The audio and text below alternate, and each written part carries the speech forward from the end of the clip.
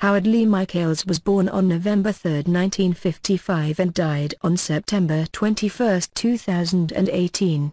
He was an American businessman who was the founder of the real estate investment advisory firm Carlton Group.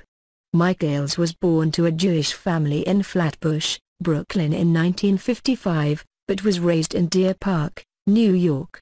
His father worked in a retail carpet store where Michaels also occasionally worked.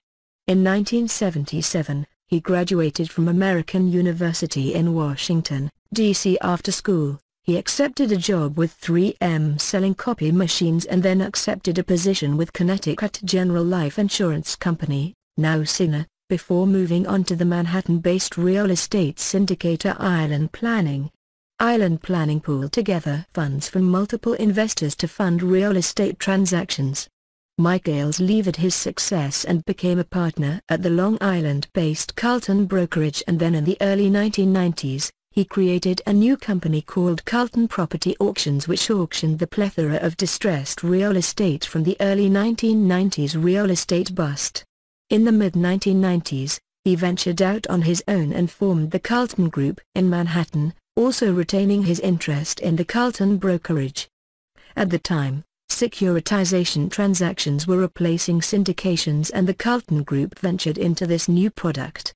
His significant transactions included the 2007 financing of the $350 million Trump Soho, the 2005 financing of the $825 million equity and condo conversion financing of Manhattan House, and the 2004 $1.7 billion recapitalization of the GM building.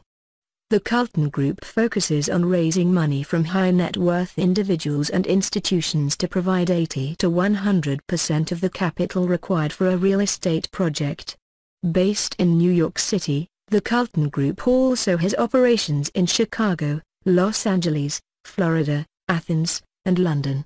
Seeing that securitizations were a commodity product, Michaels returned to what he did best bringing high net worth investors and real estate developers together.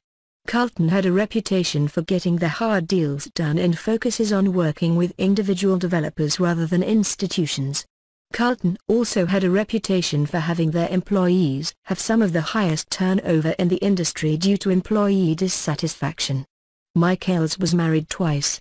In 2004, he married his second wife, Jennifer Tarabaya in a Jewish ceremony at the Pierre Hotel. His wife worked as Senator Chuck Schumer's chief fundraiser and as a senior fundraiser for the Democratic Senatorial Campaign Committee. Despite his wife's affiliation, Michaels was a Republican. He had five children. He served as a mentor to the Young Jewish Professionals Real Estate Network. He died at 62 years old.